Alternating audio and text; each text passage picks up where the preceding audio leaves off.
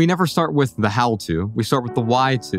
Mm. We start with the question How might your life be better with less? Or TK often rephrases it How might your life be more with less? Mm. And when people hear that, they think less stuff. Okay, that's part of it.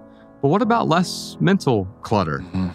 Fewer thoughts that are constantly pinballing around my head and telling me I'm inadequate, I'm insufficient, I'm incomplete. Well, that is a, a cluttered mind.